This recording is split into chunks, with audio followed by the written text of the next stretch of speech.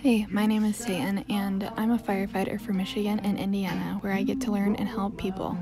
I've even gotten to do CPR on a person to try and help save their life. In the fall, I'll be going to Lake Superior for college, where there will be more snow and a lot more colder weather. My birthday is in August, where I turn 19. My favorite season is summer. I enjoy going to the beach and laying under the sun.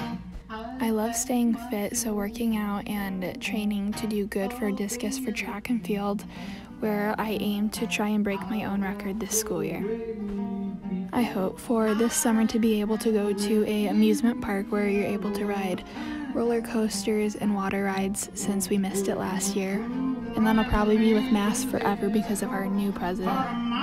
My favorite things to do are skiing and going bowling, I love reading and watching movies, especially on cold, snowy days.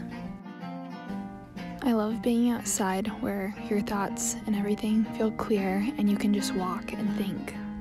I am really excited because I am getting a Siberian Husky in March and I'm so excited to meet him.